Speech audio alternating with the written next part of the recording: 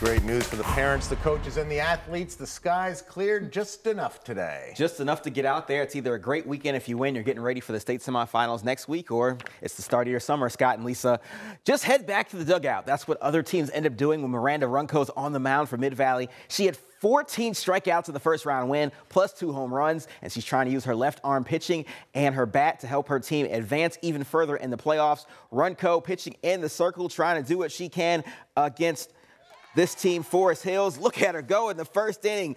The strikeout, that's what she always does, looking good. And then she's hitting leadoff in this game instead of third, and this is why. There it is, there it goes, just like that. One to nothing Mid Valley. What can't Runco do? But they're trailing two to one in the sixth inning. She had a few walks in this game, but her teammates have her back. Madison Kaiser, an 0-2 pitch. Not an issue. Comes in to tie the game up at two. Then Courtney Rebar at the plate coming to the plate here as Kaiser is fired up and Rebar. She'll take it from here, skies it deep, and that allows the opposite field home runs, allows a couple runs to score to give them a 4-2 lead. Mid-Valley with a clutch hit as always. Mid-Valley advances 4-2.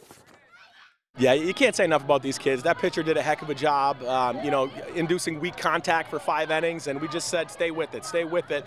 Um, although it wasn't showing, we were having better at bats as the game progressed, and um, you know, our, our, seniors there at the end, they blew it open there in the sixth. So just real proud of them.